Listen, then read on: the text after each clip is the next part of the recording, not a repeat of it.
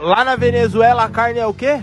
A carne é o cachorro. Ao princípio achei que era uma brincadeira, pero não, agora está comprovado. A gente escuta um uau uau, sai correndo para pegar o cachorro para comer. Não é nada. Então, na, na Venezuela a picanha é o cachorro. Uhum. E o Lula falando que come picanha aqui, come picanha.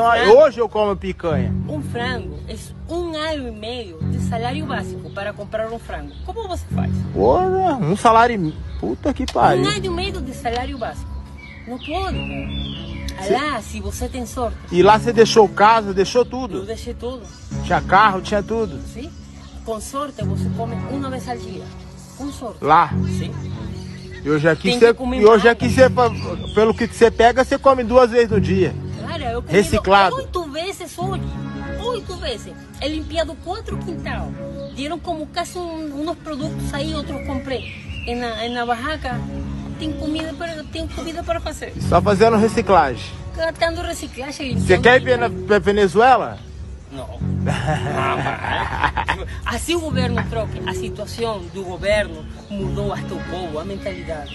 O povo já não é o mesmo que antes.